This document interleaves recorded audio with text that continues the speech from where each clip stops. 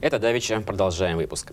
Примерить традиционную карельскую одежду, расписать матрешку или дымковскую барыню в ближайшие выходные сможет любой кировчанин. В городе в очередной раз открывается фестиваль народных промыслов «Кладовая ремесел». 3 и 4 ноября в Кировском драмтеатре соберутся более 200 умельцев из разных регионов страны.